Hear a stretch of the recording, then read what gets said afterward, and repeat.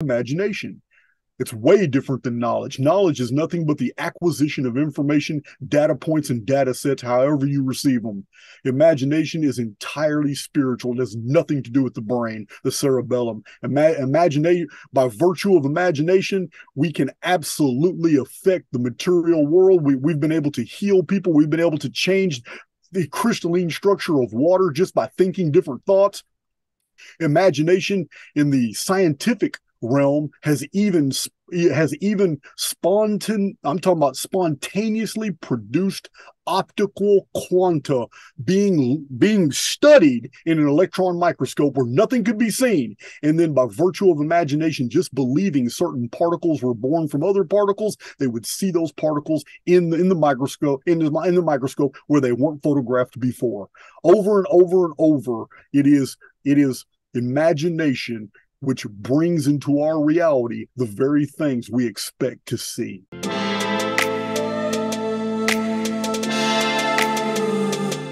Hello and welcome. Campbell here from Autodidactic with Lorenzo, and today we have a special guest. No, no doubt all of you know him, Jason from Archaix.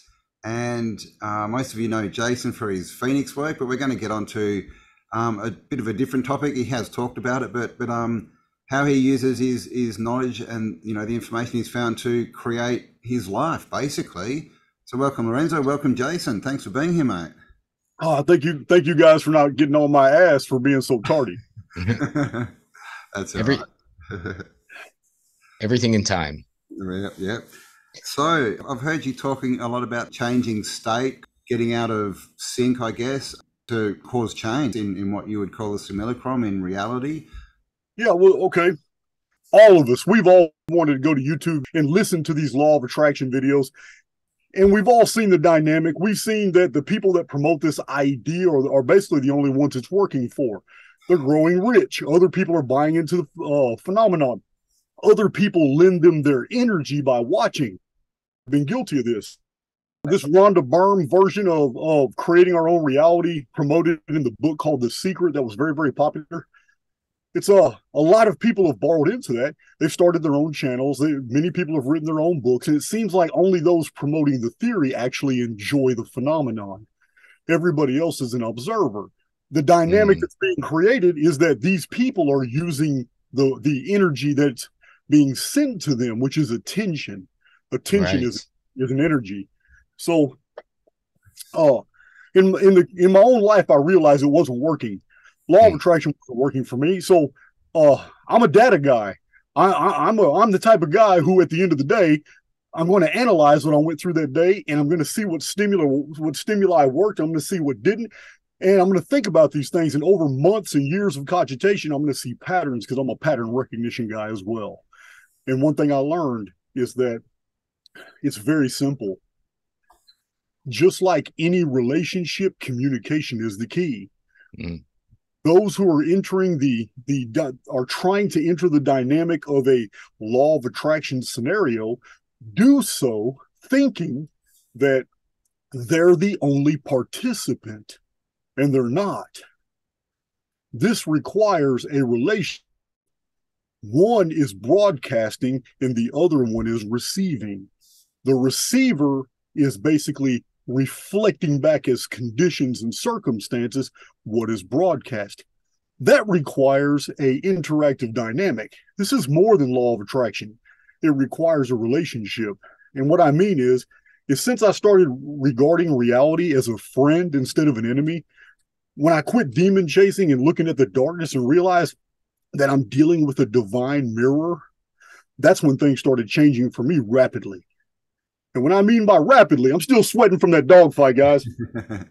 and. Uh, uh, for those of you who don't know, before he before he pressed record for this show, I just told him why I was late. Uh, I had been waiting for the broadcast, and then two of my pit bulls started fighting each other. They're still they're still puppies, and they're still fighting for dominance. I had to break it up, and when two pit bulls are locked on each other, it's work. It's work. So we're winded right now, but to get back to the premise, it's very very simple, Campbell when you start regarding reality as a symbiotic relationship between you and something greater than you, then an element of trust is introduced. all all all the burden is no longer on you anymore you are the mental architect which means you do not build architects dream up ideas and designs and therefore mm-hmm. that condition is reflected back to you since your ego has overridden all practicality and you have broadcast the idea that you alone are necessary to achieve what you alone want, then it's going to be reflected back to you that whatever you do is all you're going to receive. Mm. Therefore, you get you you enter a feedback loop of depression and anxiety, and these energies that you begin to broadcast now begin building for you the exact opposite of what you want. Mm. So this is this is the this is the predicament almost everybody finds themselves in. This is what I have found, and I have shared with my with my own listeners from my development. Uh, twenty-seven dollars in my pocket, living in a wooden shack. That's my first YouTube videos, and anybody can see that in the background. I was very open about basically my humble beginnings because I've had a lot of ups and downs in life all my books combined, I couldn't make a living off of because I was only getting royalty checks every six months. So I'd be able to live off those royalty checks for about a couple months. And then what am I going to do for the next four months to the next check? So uh this is this is the loop I found myself in, up and down, up and down, until I got fed up. I was at the bottom and I decided to start a YouTube channel at the same time that I was going to begin unveiling all my years and years of research. I was also going to be teaching lessons as to how we build our own reality, and I was going to do I was going to do so by example. And that's why my videos, it's my videos are not just educational, Campbell, as you know, but they're also demonstrative. At each level of the process, I've been growing. And now I'm really good. I'm talking about I'm not just supporting me, but I'm supporting several people now and a company, and I, am doing really well. And I'm and, I, and I'm growing more and more every week, and I'm going to continue because, like I said earlier, I don't have any backup in me. There's no reverse here, but mm. uh, yeah, it's a it, the whole difference. To sum it all up real quick, the whole difference between the whole millions of people trying to do the law of attraction is not working for them. The the only difference that I'm adding here is that this is a relationship and a relationship requires you to believe in and trust in something you cannot see, nor do you have any logical evidence exists. And yet you must admit to yourself that this unseen entity not only cares for you, but it wants you to basically it wants you to be in a relationship with it so it can experience this life with you not just observing you. And once you take this into consideration you will understand that it will build anything and the perimeters are within your own psyche. The the, the world is not a perimeter. The world is a realm. Therefore you can build anything. You can grow to any size uh, any dimension and uh you are the only restrictions that are imposed. Sounds a little bit like the Toltec, the dreamer and the dreamed. But they say the life is maybe a little bit opposite of what people think, in that they're being dreamed by a higher level being, or they're, you know, they're double, as they call it. And it sounds like what you've uh, mentioned in, in what you figured out. If you don't mind me asking, like, let's say someone's sitting here for the first time and going, okay, you know, I've tried and my life isn't working or sucks for this, that, and the other reason. How would you suggest they begin, you know, walking from where they are to where you uh, mentioned as the potential for them? That's a, that's a really good question. Um, I've had many false starts, and the first thing you're going to have to take into consideration is you're going to have false starts too. We are we are multidimensional beings, and that means that there's going to be manifold apparatuses that work for some that do not work for others. Uh, I did a demonstration on my channel. I told everybody straight up, I said, listen, man, I don't believe in ritualism. I don't believe in witchcraft. I don't believe in all this. It's not part of my reality tunnel. I don't care about it. Even if other people have shown it to be true, it's because of basically the dynamics of belief operative within their own reality tunnels made those things come to pass. In mine, I don't really care about it, but I wanted to do a demonstration. So I did. I made up my own ritual and I did it on YouTube. I told everybody about it. I, have mentioned it multiple times now, but it was back when I was first starting Rock Gardens. This is what this is my my my hardscape company, and uh, a lot of my videos I've shown my work: uh, koi ponds and swimming pools, flagstone driveways, uh, fire pits, everything built out of stone. And this is how I supported myself as I was growing my channel. So, like I said, like I said many times, I had over 300 videos, and I didn't even have a thousand subs. It took 4,000 subs before all of a sudden I was growing, I was growing exponentially every single month, doubling, tripling, quadrupling my subs. But it took it took it was a reach about three years to get four thousand subs, and, and that was like three hundred and seventy five videos. So so I, I finally hit that tipping point. And I just started growing. Now, way before that tipping point was hit, told everybody, I said, listen, we're very simple. All I did was write down on a piece of paper a message to the oversoul. And in that message was that I need twelve hundred dollars tomorrow. Within, well, I said tw- within twenty four hours. I need twelve hundred tomorrow in order to start this new company, Paradise Rock Gardens. I don't care where it comes from, how I get it, get it, or whatever. But uh, I was I was only advertising on Facebook and on Craigslist. That's all I was doing. I wasn't even a real company yet. So I did that. I took an oil lamp. Just matter of fact, I got several of them. Here's one right here, just like this one. Truth be told, it may have been this one. It may have been this one. It was one of my bigger lamps. I got some small. I, I used a big lamp, so it may be, be this one. I took an oil lamp. And this is what I did. I wrote down $1,200 on a piece of paper. And then out loud, I told the oversoul because this is the key ingredient that's missing from the law of attraction. The key ingredient is communication. The construct needs a very distinct and clear image of what it is you want. If you're not clear, then anything fed back to you won't be clear either. If if you have no real fixed intention, then you can get nothing but a, a different array of signals returned to you. That's not good. That's just going to be amorphous. You can never blame the construct because it's always reflecting back to you exactly what it perceives you to be communicating to it. This is the key. Your intention must be set and clear. There's no clearer way than writing it down on a piece of paper.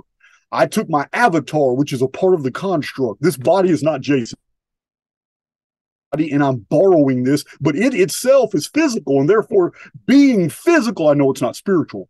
Therefore, I make the logical conclusion that this body belongs to the construct, and this is what allows me to get around and to experience all these things inside the construct. Without this body, I wouldn't be able to experience these things. So, being a part of the construct, I use this body in the construct to write down $1,200. I let it come out on my mouth through my avatar. I let it be known that I need twelve hundred dollars delivered to me before twelve before in twenty four hours, so I can start my new company, Paradise Rock Gardens, and I'll be okay. Well, If I can just get that, I'll be okay. That's enough for me to eat while I'm working these little little small tiny jobs, building up capital. It's exactly what happened, but how it happened is very very unusual. I never expected it to happen this way, and I documented it on my channel. I took that piece of paper and I out loud after I after I lit the lit the wick and the fire was going, I thanked the fire for consuming this piece of paper because this piece of paper had to be destroyed. I said this out loud. This is what I did. I burned that piece of paper. I put the I put the fire out, and I thanked the fire. Hey, I, I, I literally thanked the fire for burning that up because I wasn't able to do it, and I needed its help. So again, I'm involving the construct. There's a very clear line of communication here. The construct itself, which is a part of the oversoul, understood that I destroyed that paper in order to release it so I could receive it in the real world of my avatar. So my avatar could enjoy that $1,200. And let me tell you, somebody that night before I went to sleep responded to my one of my Craigslist ads about doing hardscape and gardening work. I'm living on a motorcycle with a backpack. I, I, but prior to this, I worked oil and gas and I was working 712s and I, it ran me down. I almost died. So uh, I, I, built up enough capital. I bought a 2018 Harley Fat Boy that I still have today, and I just moved on. And after a while, I had no more money, and this is where I found myself. I did that ritual that night. I had somebody wanting to come look at the property. That the next morning, I got on my motorcycle with my back with my backpack, and I just took off to her place uh, at her address, looked at all the garden work, work, she was doing, and she pulled out her phone, asked me for my information, and said she'll pay me six hundred down and she asked me if 600 more would be fair once the job was finished.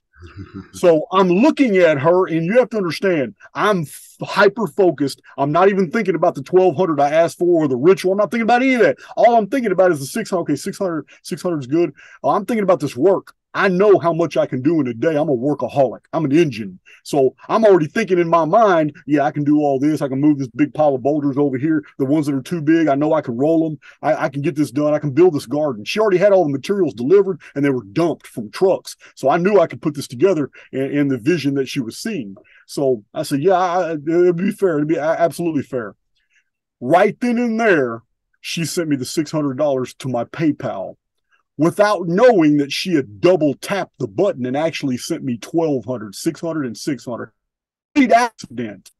She didn't mean to say $1200 but i got that $1200 that day and i confronted her about it before the sun went down. I still wasn't done with the job. We knew it was going to take two days. I have to come back the next day and finish it. And i told her i told her you uh you you already sent me the full twelve hundred dollars, and uh, you didn't owe me the other six hundred till tomorrow. She said, "Oh, that's okay. That's okay. I, will just come back tomorrow and finish the job." This is exactly how it went down, and it went down so fast that it added a new element to my channel. Now I knew, okay, you know what? I'm going to have to go ahead and teach this. This isn't something I can keep to myself. And the more I analyzed what had happened, I realized it wasn't even about the ritual. It was about the communication. It was about the very clear message that I that I sent out. I didn't do a mess. I didn't do a, a, dream board like some people do, which has 50 different images, which absolutely confuses the construct. What, how's it going to build a clear picture with 50 different thoughts? You got to do things sequentially. We live in a sequential universe. Therefore, our through the through the central nervous system and all the ways we process information, it doesn't matter if we know from an intellectual perspective, from a quantum perspective, we understand that there there is no difference between the past and the future. All we know is that through the filters that have been imposed upon us, we are forced to live in the present and we cannot experience the past or the future except by virtue of imagination, which is a purely a spiritual quality. So understanding these things makes me know that by virtue of imagination, I can also create whatever reality that I want to experience. So, but I got to do it. I got to play by the rules. And the rules are that I have to do things in order. And that means I have to build a with my mind, which is spiritual. And then I have to move my avatar in the direction of its fulfillment. I don't have to do the work. I don't have to try to fulfill it. I don't have to be anxious about it not being fulfilled. I don't have to think of all the variables that that have that have to be done in order to achieve this because if the end is secure, every step leading up to it is secure as well. And if I refuse to believe this, then there's no way I'm ever going to receive what it is that I build in my mind. So that one little video and that one little experiment led to all my all my research and all my all my theorizing later. And every time I theorize things in videos for my listeners, I then put them in. I do. I do. I go through applications. And then I t- then I do up. I do new video. Well, hey man, this is what happened. I I just bought this new van.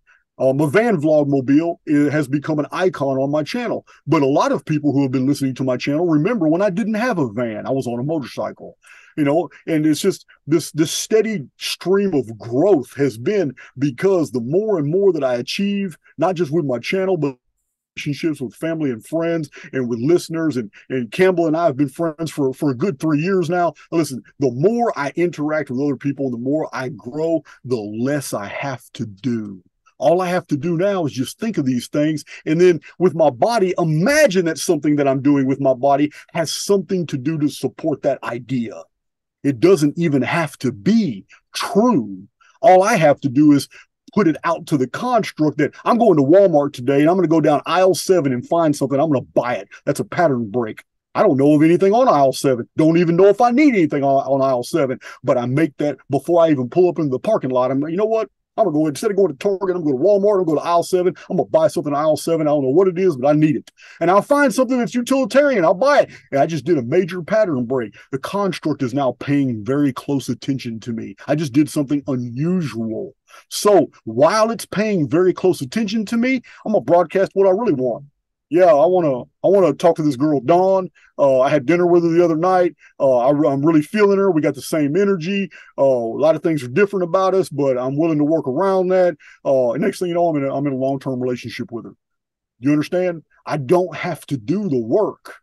All I got to do is imagine it and then move my avatar, which belongs to the construct. The construct is going to pay attention to my avatar. It cannot pay attention to the things going through my mind. Why? Because all the daydreams and fantasies in the world will never get you anything. How many people lay down every single night fantasizing and never accomplish anything in their life? The construct doesn't pay attention to that. A mental picture is only flash burned into the construct when the avatar does something to support it. And it doesn't have to be much, it just has to be enough to get the construct's attention. Guys, it's as simple as this, guys. I don't even want to complicate it. I don't even want to talk anymore about it. I'd rather just answer questions Yeah, because yeah. it's really, it's really this simple. It's a Hmm. relationship. If you look at it from any other perspective of, of a relationship between you as an immortal being and the construct, which is which is a part of the oversoul. If you look at it in any other way, you're going to continue to live the life you don't want to live. It's as simple as that. Hmm. Yeah, I mean, the law of attraction, just in the name, right? It's a one-way conversation, isn't? Attraction. There's not. There's only right. attract in rather than a Right. two-way conversation. I, I remember, like, I, I was thinking this kind of train of thought a while ago, a couple of years ago, and I was thinking, you know, you should see, you know, whatever the construct, um, God, whatever you want to call it, as your friend, right? Your best friend. Because you can imagine, you know, if if you had a friend and you're like, oh, we should go and do this, you know, blah blah blah, and they're like, yeah, that's awesome, and then, you know, like you start getting down, like, oh, I don't know, this could happen, oh, blah blah, and you know, they're going to say, I'm I'm out of it, and, and cruise away. So that's, I've never really thought of it like the, the communication, but that's, I think that's a very big thing, is because at the moment, obviously, there's a lot of people who think we're on a prison planet, and this is sort of, you know, pushed around as a concept that we're all here we're locked in it's you know it's it's a soul trap all this kind of stuff basically saying that, that god or the construct or the creator whatever is not our friend isn't it and so you know it, it kind of stands to reason that that if you're thinking that it's not going to do anything for you so yeah i think that's a really big Well, it is. It is. I have. I, I, want to interject. I want to interject. It is going to. It is. It is going to do something for you, Campbell. yeah sure it is. stuff yeah. It's going to reinforce and reflect back phenomena to you that you're going to interpret as you were correct from the beginning. This is the evil construct. This is all terrible shit. Look at the look at the stuff I'm going through. I'm absolutely right. Look at everything, everything you hear. Remember, remember, we are subject to the central nervous system. So if you're mentally projecting a certain idea or a belief that this is a soul trap, then I promise you the five senses are, are going to come up with ways taste, touch, hearing, smell, and sight will be used against you to make you believe that you are in a soul trap situation. It will reflect that back as circumstance. And I totally disagree with it. Yeah, I mean, I have much respect for the free. Listen, Howdie Mickoski, you and I have done a, a show with him back when I was back when I was just starting out. And you know what? I've got two of his books on my shelf back here. I got a lot of respect for him. He's got he's a really out of the box thinker, but he and I are totally totally opposite when it comes to the soul trap phenomenon. I want I want to give you a video game scenario, okay? A real quick video game scenario. This should stick in your mind. This is from the perspective of the oversoul. Let's remove this whole thing away from the perspective of just us, the experiencers, all right? Let's let's look at this from an objective point of view, from the oversoul's point of view. So oversoul is paying attention to 10 different avatars the oversoul wants so in order to experience all these beautiful things the oversoul is going is going to respond and observe and pay closer attention to those who are creating those who are acting as co-creators those who are building. Those avatars that have been stuck in feedback loops are going to be boring. There's nothing to observe. They're in a feedback loop. This is the collective it doesn't matter what the feedback loop is. A hyper religionist ultra liberal it doesn't matter what the feedback the oh the the oversoul is going to have most interest in those who are doing interesting out of the box non-collective things. Yep. that's what it's that's what it, and believe me it's going to help them do it. All they got to do is break free from that dungeon programming. Break free from that and, and they're good then they can wake up every morning in a good attitude and not in a bad attitude because every single day is pregnant with possibilities. And when when people live their life believing that anything awesome could happen today i just got to be aware be waiting on it then those things are going to pop up into your life. And when they do you'll grow to expect them. And as you're expecting them, you will enter that feedback loop. And that feedback loop doesn't require any effort. Now, every day, something, some new, new people, new experiences, all kinds of new things, and you, your soul will feel like it's soaring because you are being attended to. You're being directly observed by something that is enjoying the experience with you. So yeah, this is it's yeah. it's a, it's one hundred percent a relationship, man. Is there no way to say it? Any any more verbiage would cross over into religiosity. Yeah, yeah, I like your point, which is very uh, in, intelligent, and a lot of people perhaps miss is that when you asked for that first twelve hundred dollars, you weren't just sitting on your couch and waiting for it to drop in your lap. You were willing to go out and do the hard sweat labor work to make it manifest, and I think that's a point that a lot of people miss with their dream boards or they're a new age guru hit a gong and sit back on your couch and then somehow something's going to you know show up at your door. You have to be willing to put the active mm-hmm. intent yeah. through the process as you say of your avatar by helping it manifest in this world. Yeah well i i give you a real good I, you're 100% i agree with you. But I know that I've had at least 2,000 fantasies sitting in a prison cell dreaming about Heather Locklear. And I tell you what, I've, never even, I've never even shook her hand. So there's something wrong with that whole scenario. Hmm. You've got to do something. You know what I mean? There's, you've got to do something to move into that direction. And once you do, that's when the oversoul takes over. And that's when, that's when you're no longer, you're no longer making any efforts. Now you're just, you're just along for the ride. Uh, that's how easy things come come come to you. It's just there's no there's a there's just it's it's become so simple now that I seem to complicate it by speaking too much. yeah, yeah. You mentioned before about going in the aisle and buying something randomly. So with doing um, actions once you've put put out your intention, so mm-hmm. are you saying that, that basically you should just choose something to do and, and take an action even nope. if you don't know it's if it's in the right direction? You okay look, anyway. Okay, check this out. You are the you are the author of your reality tunnel. It is written by you. So it doesn't matter if it's in the right direction. If you perceive something to be in the right direction, reality will reciprocate. You're making the rules right here, but it's also going to make you live by them. This is why it's very dangerous to be judgmental and opinionated about other people's lives, because in that you are writing the script to be judged in your own. So this is a this is this is this is the the beautiful the beautiful magic about about the pattern break. A pattern break is so hard to do. Let me give you an example. I was driving down the interstate the other day and there's an old bar called the Fortune Club, the Good Fortune Club that I used to go to. It's a lot of people in their 40s, 50s, and 60s that hang out there. It's got a really good atmosphere. I know people there. Um, the other day, I was thinking, you know what? I'm gonna. I was about a two miles away from the exit. I had some extra time on my hands. I said, you know what? I'm gonna pull in there and see what everybody's doing because they all know about Marquez channel. They know who I am. I been, they know I'm an ex-con. Everybody, everybody knows each other there. So I, I pull, I, I pull toward the exit. But I woke up that morning thinking I was goal orientated. I have all these things I want to do, places I need to get and want to be. And pattern breaks aren't easy because you're already going down a trajectory that you've mentally put for yourself. That trajectory has already got accretions added to it by the construct even before you experience these things. This is why people and circumstances are being navigated in your immediate future and you go right into that phenomena. A pattern break completely stops all of that all this programming that is being put into your third hour, fourth hour, fifth hour, sixth hour, seventh hour, it involves all kinds of programming narratives that are far away and they got to come together.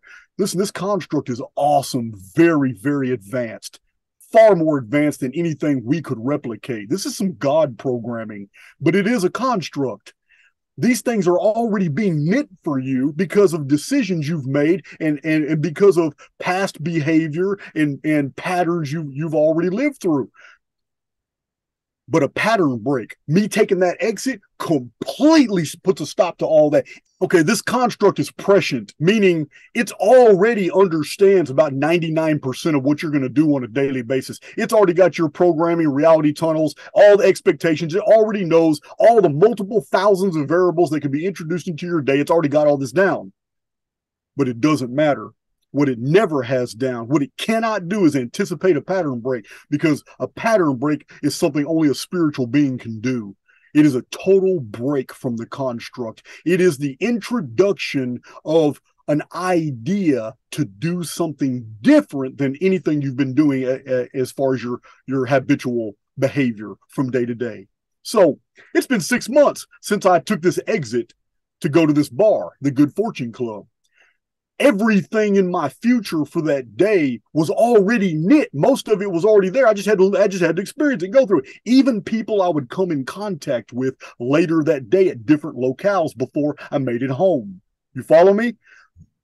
But then all of a sudden I decided, I said, man, you know what? I'm gonna take this pattern break. Well, I'm gonna tell you now, I didn't take that exit. I crossed four lanes over, positioned myself to take that exit and something literally made it almost impossible to break free from the programming sometimes the mm. construct didn't want to let go of everything that it, it, had already knit for me to experience it didn't. So it basically overrode, and I just lost interest just long enough to pass that exit because I knew I wasn't going to go four more miles down the highway, do a U turn, and then do another U turn, and then go find the exit again. I knew I wasn't going to do all that, and so did the construct.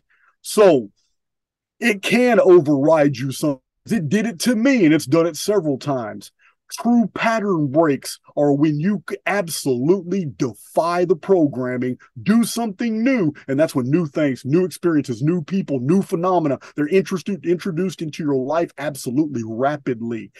Pattern break is when you need to communicate your desire because the communication to the construct will be received very clearly because it does not want to deal with future pattern breaks. So it's going to give you what you want in exchange. It's a relationship. You understand? It doesn't want to. It, doesn't want that increase of processing. It doesn't want that unpredictability. It's going to give, and the oversoul is going to and watch what is it you're trying to build what is it you want what do you want to introduce into your reality tunnel it's going to build it for you because that's what it is it is a vast apparatus builder protocol it's here for us to use 100% this is a good thing. Now, I won't I won't deny it. A lot of bad people have made the same discovery and they use it for nefarious purposes. And this is why we have the news media because the news media isn't reporting the news. The news media is building the very world we're experiencing in the collective. So what what do you mean if you could explain a little more on uh you know the the reality not interested in more pattern breaks or the unknown? Are you building a new tunnel? Okay. I don't have I don't have to introduce a pattern break in order to build something. I can just put them I can just put the I can put the I can build one in my mind and I can move my avatar in that direction. That's the long game though. That's what you do when you really don't know what you're doing. That's what you do, and it takes a while for that to reflect back as as circumstances in proportion to basically the spiritual energy beginning and how good you are at letting go. Because anything you cling to can never be released to be reflected back as circumstance. So you got to be really good at letting go. And I am. I'm really good at compartmentalizing building something in my mind, moving my avatar in the direction of the fulfillment of that, and then backing off with absolute faith that I just set something in motion and I don't have to I don't have to concentrate it anymore. In fact, I'm going to completely forget it and and do something else. That is the highest form of faith. Yeah. Letting go. Imagine you're a 5-year-old kid and you've never done anything but listen to dad and eat on the 794th day. You're a three year old and you slam your hand on the table. I promise you, your dad's going to be listening. He's going to stare at you and trying to figure out what the hell this new behavior means. And he's going to pay very close attention to what that three year old says. It's the same concept, 100%. Mm. I mean, yeah, I mean, a lot of these concepts, you know, are, are what are given in, you know, religions and theosophy and that, isn't it? It's like, don't judge, have faith, um, be close to the creator, you know, all these, all these kind of concepts. So it's, it's, it's not, yeah, it, we've been told all this, but, but like you said, we have this thing called the media and the system that's constantly trying to confuse us. And, I think one of the biggest things that you mentioned was, um, you know, these dream charts and everything, and and goal lists and that that they're they're too complicated. I've sort of mentioned it a few times, all these courses, and it's like write out all these lists and pros and cons and make all these dream books and that. But I'd never really thought of it in the context that that just confuses, it sends a, a smaller signal, doesn't it? You know, obviously one focused beam is going to get through. I, and, I, I think it sends a more complicated signal. Therefore, you'll, what you'll receive is more complicated. You know, ah, if, oh, yeah, it's, yeah, it's going to be a mirror. It's going to be a mirror 100%. Yeah. yeah, I'm telling you, the greatest truths, the greatest truths are very, very simple. Think about the Neolithic period. In the Neolithic period, these people had absolute faith that when they took an arrow out and they drew a circle in the dirt, and then they drew an effigy of an antelope, even if it didn't even look like an antelope, if they called it an antelope, it was an antelope. When they drew that circle and drew that antelope, this is a very ancient practice and it's transcontinental. They would draw that animal, and then one of the hunters would take that same arrow and shoot that animal, and then they would all thank the oversoul, calling great spirit, calling it Mumbawambi, calling all kinds of different, uh, white rabbit, whatever they, Bo, Bokika, whatever, whatever name, it doesn't matter. They're merely frames of reference. So they would thank the Great Spirit for giving them that antelope, and they would thank the spirit of the antelope for feeding their, their, their family and themselves. And they would take that arrow and pull it back out because they knew they were going to get that antelope with that same arrow. And they would take that arrow and they would break that circle Breaking the circle was the symbol of letting go. They had mm. to hmm. break the circle to let the antelope out so they could go get it. And then that day they would they would kill an antelope. And to them, there was nothing mysterious about this. It is a practice. Nothing that is practiced for thousands of years could have could have been in in in a, a metaphor only. Yeah. Because after after just 100 years, people would have quit drawing damn animals on the ground if that shit didn't work. So mm-hmm. it did work. They did it for thousands of years. They did it on cave art, cave paintings, oral transmission, shamanic tales. It's everywhere. This is the procedure they used. That antelope wasn't real, it was a mental image, and they used their avatar to do something in physical reality that would that would bring the idea of the antelope here and then cast it out. I'm going to tell you now, I'm of the opinion that many times there probably wasn't even an antelope around. But they didn't know that because the construct can edit in anything as soon as the central nervous system is not paying attention to a certain area. How many things in your life have popped up suddenly and you're almost convinced that that wasn't there a minute ago?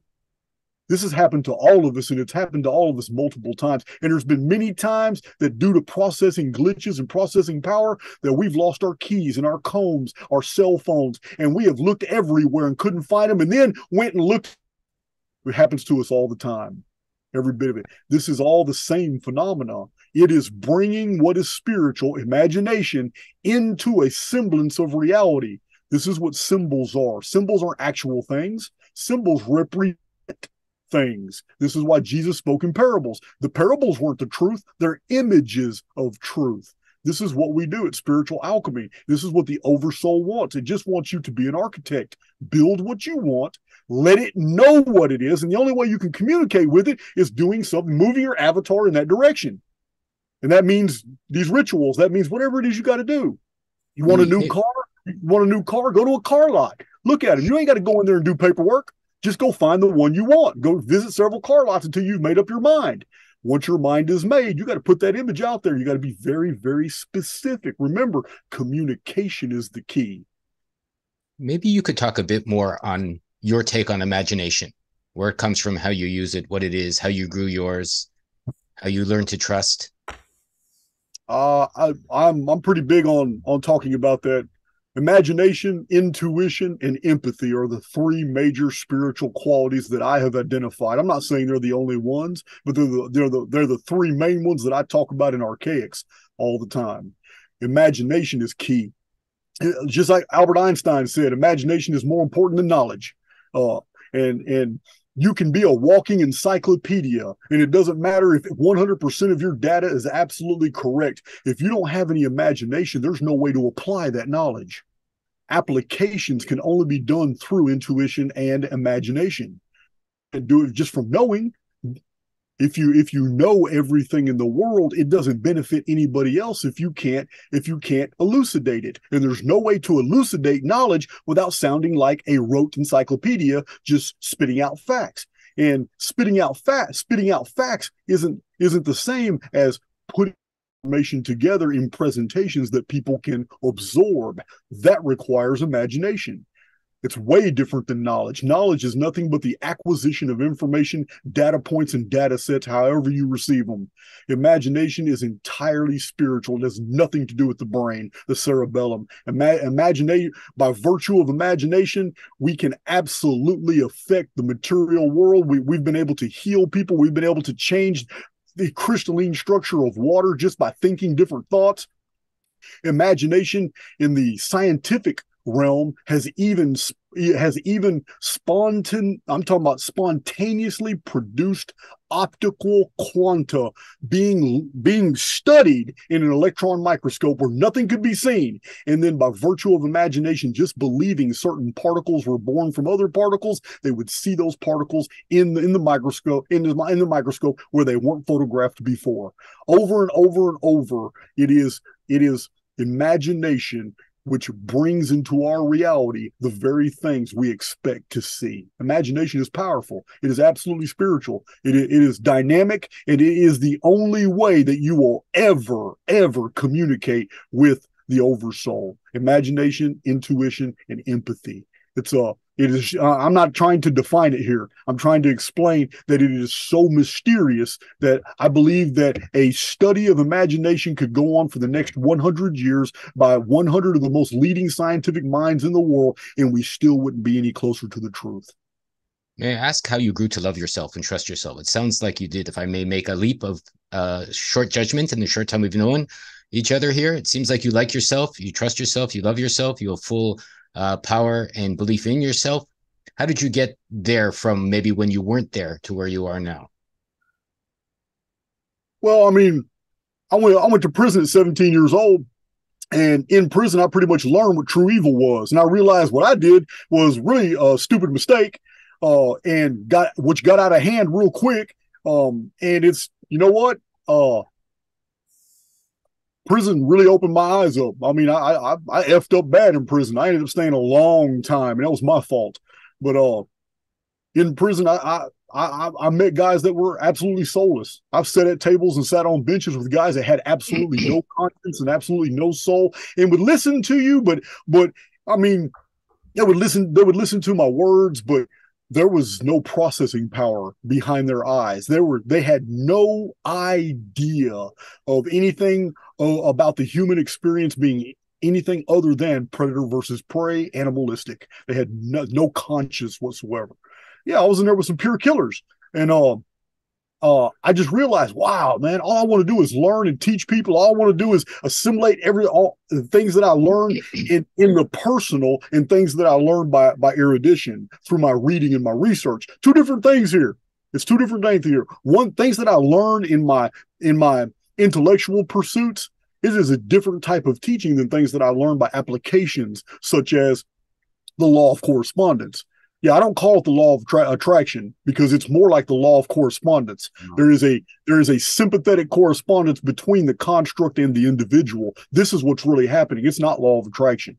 Yeah. So uh, the law of attraction basically means that all the energy, all the energy is only going to be attracted to the one who's teaching the law of attraction. Everybody else is just giving them their energy. So yeah, it's uh, totally different dynamic.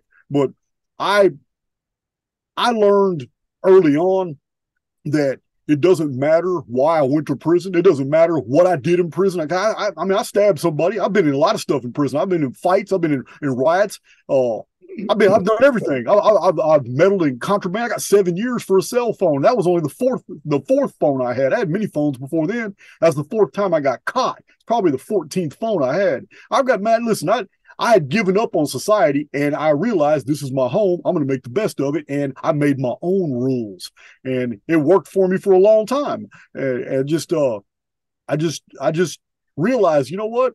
This, this, this whole Southern Baptist upbringing, this Bible, everything that I've memorized, all the stuff I, you know what? This, this isn't right this is what the world wants me to believe to try to keep me going down this certain paradigm but this isn't what i'm finding out to be true. This doesn't apply to this data set. It doesn't apply to this group of people. It doesn't it doesn't apply to this experience. So the more i analyze reality and all around me i realize that you know what? I'm not the only one experiencing this. Something within me is also experiencing something great, and it's using me to do that. So when I began to wake waking up to this fact, okay, well that means I'm not alone. And if I'm not alone, that means I must have help. And I, I, I do have to admit that this clarity I have is by virtue of long confinement because I was supposed to die many, many times and it didn't happen. I've been sent to the infirmary, to the hospital. Uh, I've fallen off buildings. I, have had a terrible motorcycle accident. Um, I've been lynched to where I was unconscious, people jumping on my head in prison. Listen, there, there's no way that I have lived through all of this without something making sure that I did so. Because had I been on my own, soulless like these other guys I, that I, that I met, uh, I would have been gone a long time ago. Therefore, I, ha- I have to conclude that after 26 years and 42 days in Texas prison, mostly in maximum security, by the time I got out to Woodlands, Texas, and moved in with my dad, I realized I can't believe I'm even here. Therefore, I've got to do something with this. I can't just I can't just be keep my mouth shut and not try to share with the world all these things that I have learned and all these things that I have experienced. Two different things. My channel covers both.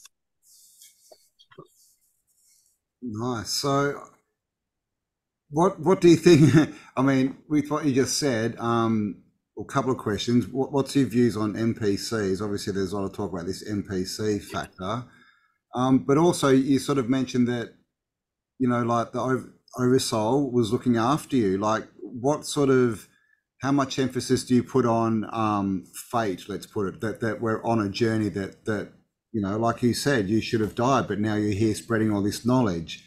Um, so yeah, like what do you think on NPCs and and fate as far as you know we have a, a pre um, a pre designated you know, outcome. Oh, you know what? I don't. You say fate or faith? Uh, fate like we're here to do something and so okay fate all right destiny okay destiny. i get it yeah. i get it um one uh first of all in answer to the question of oversoul is i have to believe i have to believe that the human experience is is one that is spiritually spiritually uh, real and that even the construct itself is just different modes of spirit. It's a part of the oversoul but it's just the it's just the lower vibration of the oversoul. Therefore it, it seems physical to us and the higher vibration or realms that we're trying to attain we're not there yet. We're living through life sims this is a construct. It's like a holographic overfield of multiple programs and subroutines. And it's so convincing because it needs to be. It needs to be convincing so immortals can come in here and grow and we can develop. I believe that you are no different than I. And I believe that many people listening to our voices, almost everybody listening to our voices, we're all in the same boat. We decided to be here. We took a, a conscious, we made a conscious decision to have this experience. Now, um, like I said, I, don't believe in the soul trap. I don't believe that the oversoul would ever be so nefarious as to as to have you live an entire lifetime in an avatar, and then no matter what you did in that lifetime, as soon as you exited your avatar, now your soul is going to suffer consequences because you made the wrong decision and went toward the light. Doesn't even make sense to me at all. Doesn't even make sense. I, I'm not. I'm not even believing any of that because I believe that the very fact that we're here, all the battles have already been won. The very fact that we're enjoying this experience, that we create our own hell. Hell is not a destination. Hell, hell is an experience. And if you believe this world sucks and it's never going to be good for you and nothing but bad stuff ever happens to you like 80% of the world's population then that's exactly what you get. It's a feedback loop. You did it to yourself. Now i'm not saying i'm not saying that you're guilty of of a lack of faith because some you know it's just uh i don't know i don't know where you are in your spiritual development. So this is what i believe. I believe we're just we're just immortal beings. I don't believe I can die. I believe this avatar is just is just a, a meat suit that belongs to the construct, and that I would not be surprised. I wouldn't be surprised at all. Wouldn't even wouldn't even laugh about it.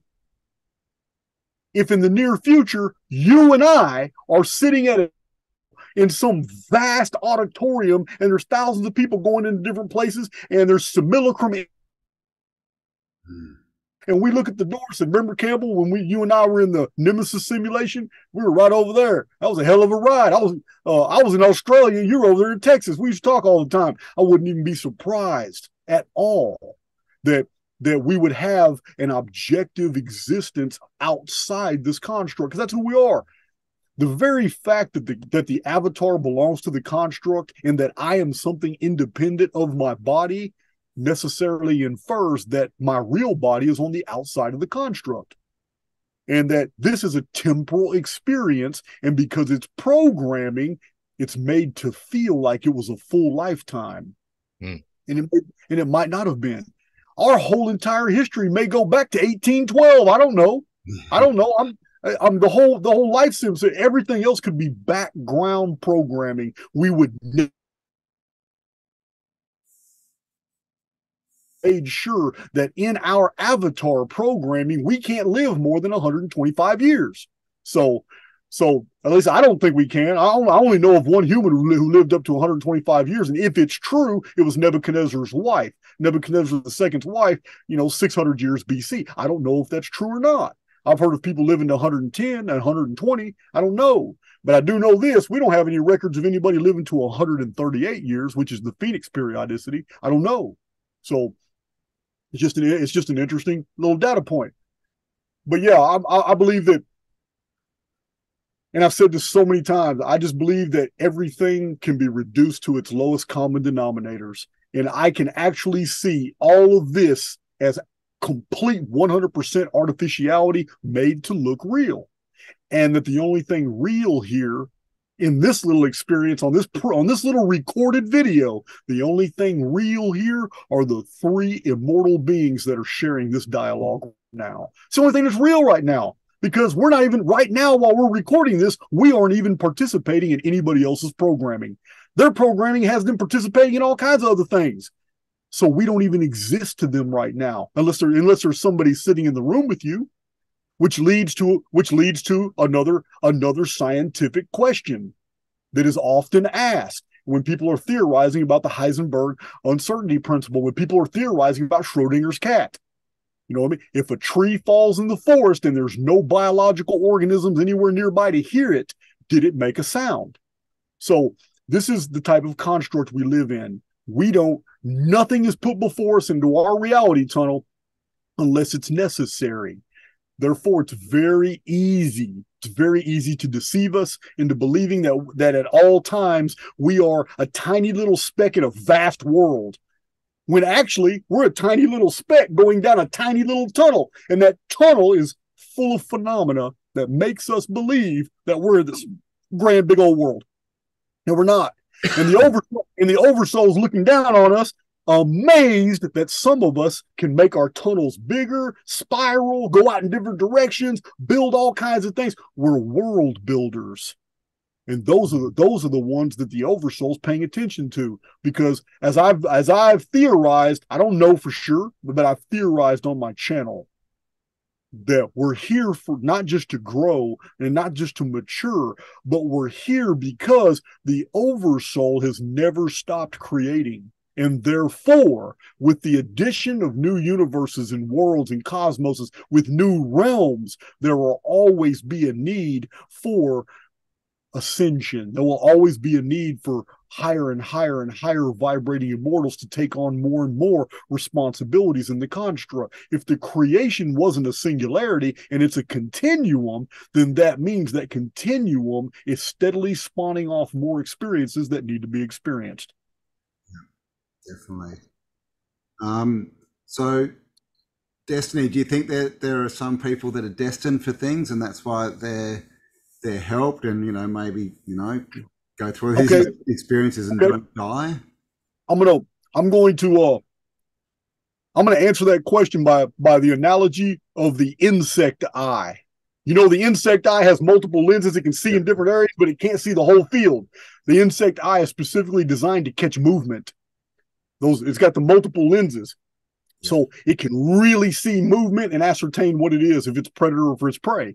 So check this out you asked me about fate. I'm telling you that in the programming, there are roles that need to be filled by individuals. At the same time, I'm also telling you that the construct will never impose its will as to who is going to fulfill those roles. Oh, okay. Yeah. Cool. Interesting.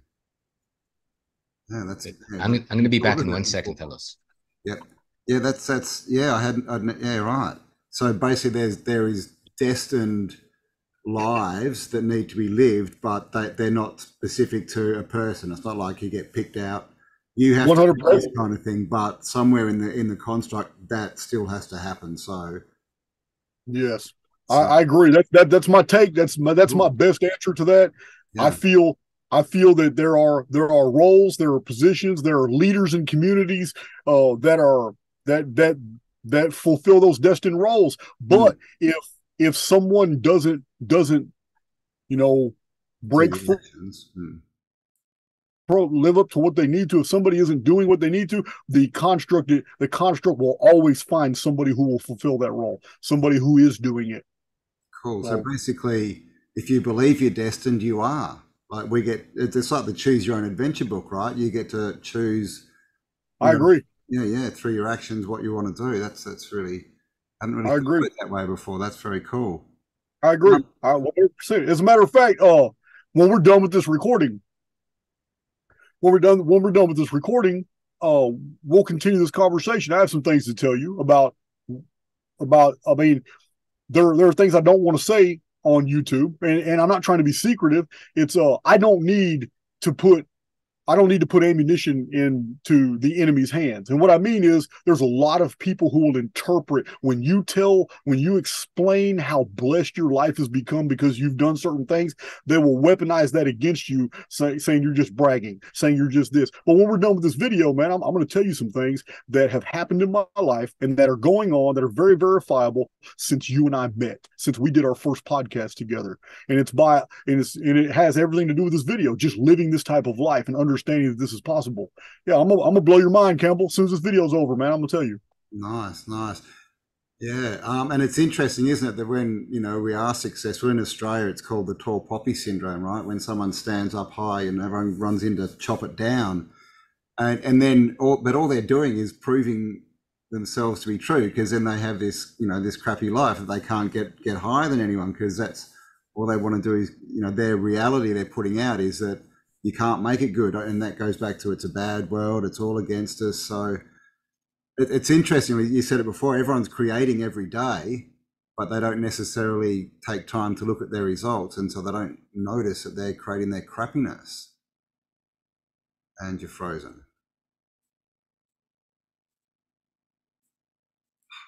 You're not recording.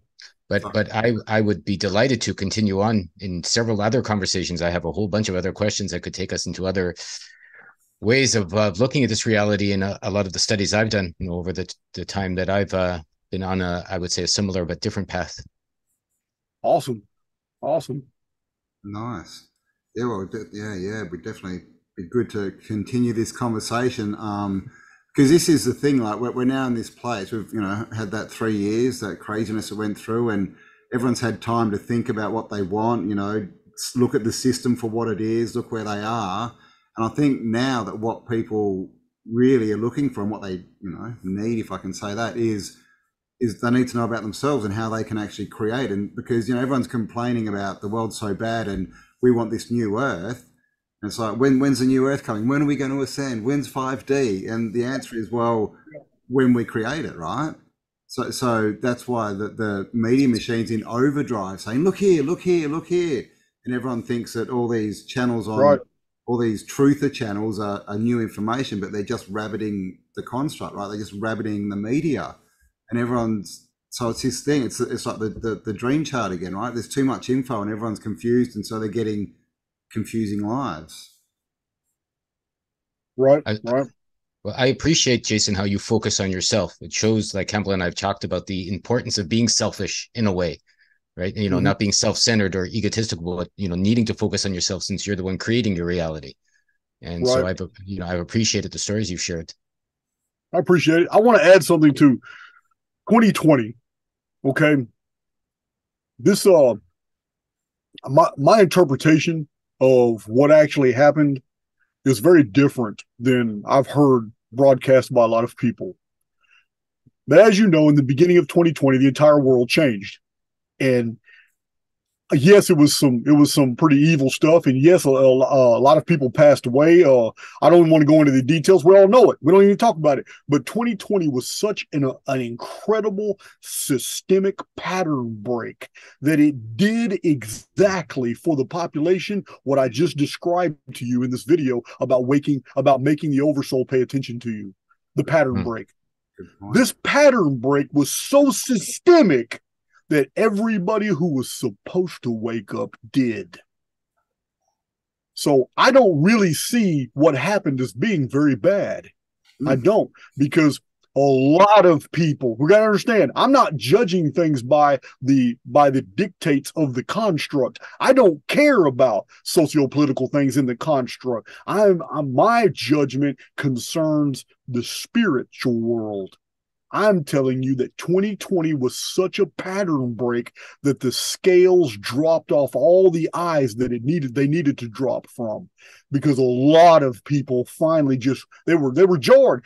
2001 woke a lot of people up with the 9/11 deal. That really woke a lot of people up uh initially, but they lulled back to sleep.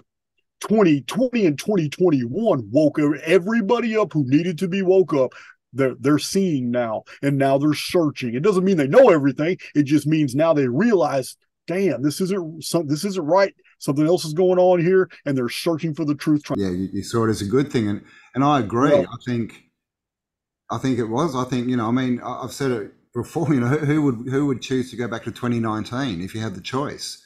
You know not not many people. I mean obviously a lot of people are scrambling to get back in the system the ones who didn't wake up but as far as you know my life i'm glad it all happened you know. I was in a job man back then. Now i'm you know living out off grid in a dome. So yeah I, I, agree. I think it's good. Awesome. Yeah that's that's my opinion that that from a spiritual perspective this was all good and we're weeding out all this garbage stuff garbage theories things that don't apply all these accretions that have attached to to to the to the realm of human experience that don't belong uh we're exposing the charlatans yeah i'm just uh, i'm big on that on my channel if you got millions, if you got millions of viewers yeah I'm I've been calling them out lately. Yeah, I, I, haven't had a single one of not a single one of them answered, but I'm ready. I'm ready. I'm talking about man. I, I, there's some of these theories that have that have got way too much traction. Millions of people mm. listen, and there's zero data to support them. And I'm I'm just on fire lately, and I'm not gonna stop. I'm gonna keep I'm gonna keep twisting that dagger. I'm done. Mm. I'm not. I'm not done. Yeah, yeah, I agree. There's so much disinfo out there, and of course, you know, there was that, you know, the big um, group that kind of came up from 2020, 21. You know, the the MAGA movement, and so many people built channels off that that literally started and within a month they had a couple of hundred thousand people and yep. promoted everywhere so you know it's a good point if someone's being promoted you know double have a have a, a real good think about you know are they telling you the truth or not because you know, there's always an agenda behind. You know, if, if the agenda can get in there, they will. I guess is is the point. Yeah, I, I agree. I agree with that. Mm. I've uh, I've had all kinds of offers from big companies. It's uh, I just don't want to do that on my on, on my channel at all. It's it's uh, you're right. There's a there's a lot there's a lot of attractive offers out there, but they come with agendas, man. Mm. They do. come with chains too. Yeah, man. Indeed. Cool. You know? All righty. Well, it looks like we're coming to an end here. So that was really good. You know, thanks so much for your time. But yeah, definitely, if you're into it, it'd be good to continue the conversation and you know get this info out there. Because, like I said, I think this is really the info that, that needs to get out there at the moment. Is how do we achieve what everyone's yelling about? Right? Everyone wants change. Everyone wants this new earth. So let's you know let's just do it and stop focusing on all the minutia that's being thrown at us by the, the you know the construct. Hey, good word. Good word, minutia. That's one of my favorites. But uh, I do. I would like to close with one thing. I don't. I don't know. I do not agree. I do not agree with the idea of, and, and please don't misinterpret this. I don't agree with the idea that we need to do anything at all. Mm. What I mean is, is that this dynamic between you and the oversoul is so cogent and so all pervasive that if you really want to change the world, then all you have to do is change yourself. Because the more you change yourself, your world will change. And then when other souls see that going on, that they will see that as well. People, we learn by osmosis. You can't tell the truth to anybody these days. You can demonstrate it, but you can't just tell the truth anymore. You gotta you gotta give analogies and you gotta give metaphors. And like I said, I think I think that's why Jesus spoke in parables. That's why that's honestly because you just can't tell the direct truth in a construct that thrives off deceit. You have you have to infer truths, or you have to act in similes like rituals. This is what the construct pays attention to, like drawing the circle with the antelope. Mm. So, yeah, I, I just wanted to, to clarify that because I do not believe that we're here to save. The, we're not here to save the world at all. But we can, but we can improve the world when we only work on ourselves. And uh, I don't believe that's selfish. I believe that is what the that is what we're here to do to develop this relationship between us as a highly personal being and the oversoul itself. Because if we're going to receive a divine inheritance outside of the construct and take on more roles of the multiverse or whatever it is, then we have to grow into that responsibility. We can't just be given it. I hear you. You know, Totally. Cambell and I are going to be in Florida, what, October 6th, 7th, and 8th. We have our own event, Practical Evolution for Life. So we're going to be kind of in your neck of the woods. I'm going to Toronto to visit my folks first. I'm in Japan right now, and then I'm going up that way. And in our event is basically based exactly on what you've mentioned, helping people to get themselves to change themselves to uh, alter the world by picking up personal responsibility. And Wow. uh, yeah, yeah. So it's amazing that we get a chance to finally chat and share right now as uh, you know we're heading Mm. out that way ourselves. Maybe we'll get a chance to meet. Might have to catch up. Oh. Yeah. Well, well, we might. I'm doing a meetup on the 21st with uh, Max Egan. Uh, Max Egan's going to be there. Logan of Decode Your Reality. Uh, Danny of the remaining uh, removing the shackles. Uh, Martin Leakey's going to be there. Uh, Where you are? we're going to be we're going to be doing a meetup, but it's in California on the 21st, 21st of October. 21st of October. Yep, yeah. Uh, uh, We're gonna we're, we're gonna be in Florida, yeah, on October sixth, seventh, and eighth. Other Where side of the country. where in Port, Port St. Lucie, Florida. is that the southern part? Um, Between Orlando and West Palm in the middle. Okay, in the middle. You know what? I, Big John and I, we might just drive to Florida and just just drop in on you guys. yeah, I mean, it's it's uh, it's about a fourteen hour drive, but I can do it. We'd love to see you there. That would be Yeah, great. Well- Yeah, let's chat further on that and, and figure some stuff out, but that would be amazing. Yeah. Yeah, that's that's yeah. If you're gonna come to to the states, Otto, we got to we got to at yeah, least man. drink. To catch up. We got to drink one together, man. yeah, sounds- for sure, man. I'm into it. Sounds good. Sounds good. Yeah. So let's chat some more between now and then if we get a chance. If you're free, Jason, you know, I'm happy to connect and uh, discuss. Uh, you know, I have some questions that we can go deeper into some of the topics you've brought up. And I still would love to hear once we stop recording the blow our mind stuff after uh, Cambell pushes pause on the record part of this conversation. Yeah, he's got yeah, he's got to hit the stop button first. yeah, yeah. we'll get up. Yeah. All righty. Cheers. Thank you so much, Jason. Uh, thanks again uh, for being here as well, Lorenzo. That was really cool. And we'll catch up here with you in the future. Awesome. Cheers, mate. Thanks everyone for being here, and we'll catch you on the next upload. Bye for now.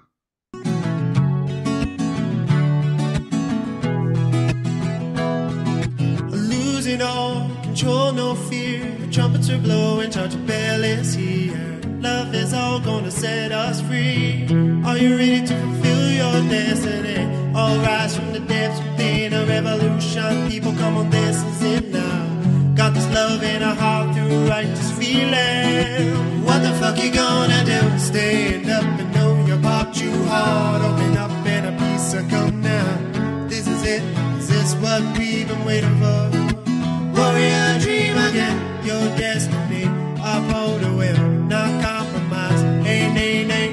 Freedom, freedom, freedom, freedom, yeah. Freedom, freedom, freedom is calling us. Freedom, freedom, freedom, freedom, yeah. Freedom, freedom, freedom is calling us. Stepping it up, taking a chance, risking it all. We're going crazy.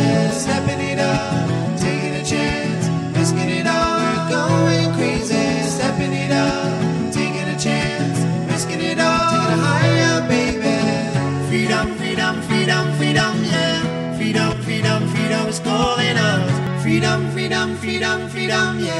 Freedom, freedom, freedom is calling us. Freedom, freedom, freedom, freedom, yeah. Freedom, freedom, freedom is calling us.